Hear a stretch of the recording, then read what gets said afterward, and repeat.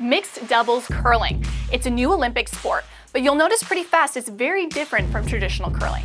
First up, teams. Each team has one man and one woman. There are no substitutions and both players can sweep. And the ice is the same as in traditional curling, but there are eight ends of play versus 10. Each team has six stones instead of the regular eight. Player one throws the first and last stones, while player number two throws the second, third, and fourth stones. At this point, you might be asking yourself, where does the sixth stone come in? Unlike in traditional curling, in mixed doubles, two stones are placed into play before the start of each end. They're placed on the center line. The team with the last rock gets theirs placed in the house, while the team who doesn't have the last shot gets a guard.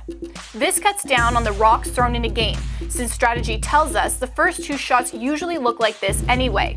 It makes the game shorter and creates different forms of strategy. But you can still score points with these stones. And scoring, by the way, is done the same way as in traditional curling. Okay, that was a lot of information, so quick recap. Mixed doubles, two team members, six rocks, eight ends, and two position rocks to start. Traditional four man or four woman curling. Four team members, eight rocks, has 10 ends, and clear ice to begin the game. There you go. Now you are officially ready to not just watch, but understand mixed curling at the 2018 Olympic Games.